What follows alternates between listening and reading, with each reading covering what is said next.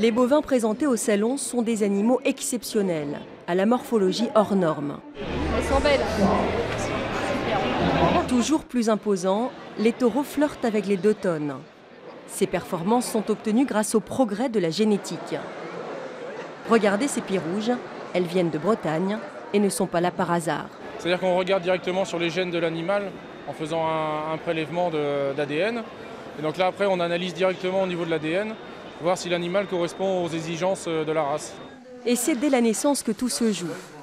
Christophe Héon fait son marché dans cet élevage de pieds rouges. Il prélève l'ADN d'un veau qui vient tout juste de naître. Donc là on prélève un bout de cartilage et ça permet de lire la, la carte génétique de, de, cet animal pour pouvoir le, le sélectionner au niveau du, du centre d'insémination pour voir s'il peut être retenu comme futur reproducteur. Félicien Filatre reconnaît bien ces vaches, leurs réactions, leur forme, leur performance, mais ce ne sera jamais aussi précis que l'analyse génétique. Cette technique a chamboulé la filière, notamment pour les pieds rouges.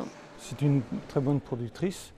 Sa production, ses taux, en particulier son taux protéique, qui est, qui est excellent. C'est une vache rustique et également elle a un point fort, c'est sa fertilité.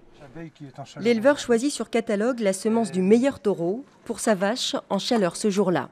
Par rapport aux défauts de la vache, on choisit un taureau améliorateur sur les critères euh, où elle est un peu plus faible et que l'on veut améliorer.